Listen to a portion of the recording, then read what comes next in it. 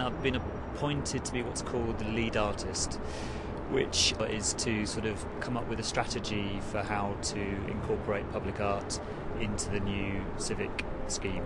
So initially, it's it's um, it's sort of thinking what's what type of things, how how you might uh, bring public art into this new space.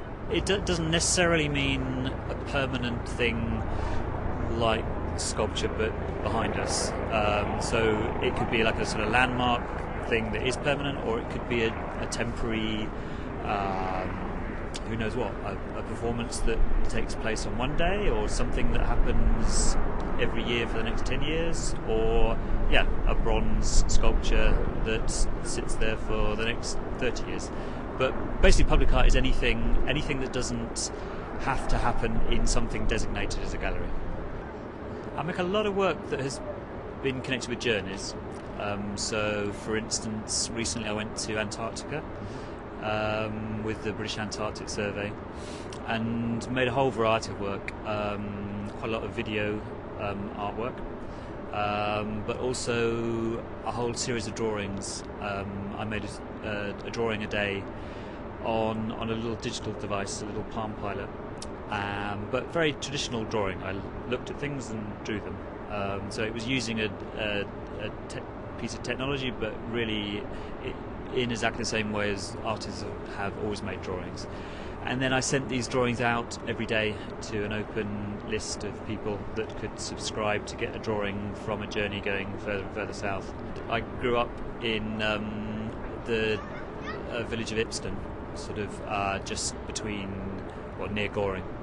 Um, and yeah, Reading, Reading was when I was a teenager. That was very much the, the city lights that that we used to come and hang out in. I I came back to do my MA at Reading University, so I then I then saw actually what was quite a changed Reading by then. There was there was quite a difference between the Reading that I grew up sort of uh, around and within, and the one that I came back to. It, it was it was already much more.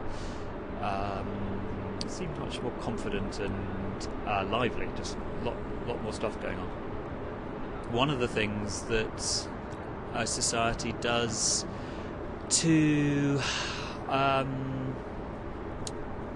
to sort of give itself a sense of identity, I suppose. I mean, someone was talking earlier about the old town hall and the, sort of the amount of sort of uh, beautiful details that there are on it. Um, all of that is sort of, in a way, um, extra than is absolutely essential, but it's something to do with, uh, yeah, making sort of celebrating Reading. I suppose. I suppose that's the point.